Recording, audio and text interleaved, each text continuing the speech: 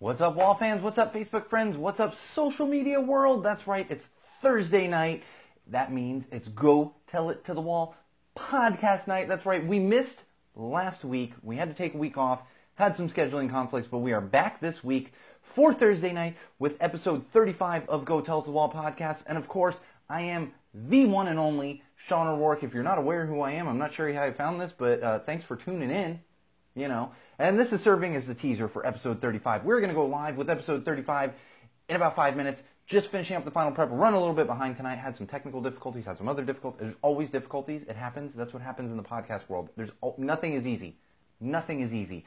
Uh, but the good thing is that I have just a ridiculous amount of content. The thing is, when you miss a week, content builds up. So I have ridiculous amounts of content for all of you this evening, uh, including some Veterans Day stuff, lots of social stuff, lots of social stuff, and of course, some good old common sense. And I'm going to warn everyone, it's, it's interesting because after the Halloween episode, we got some good feedback because I had maybe one too many beers before the Halloween episode.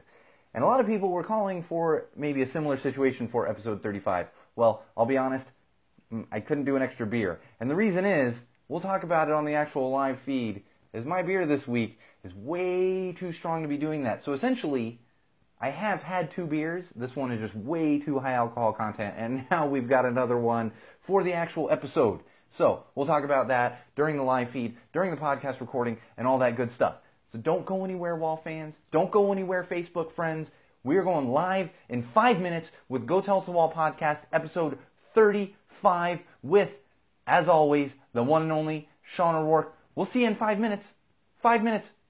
Five minutes?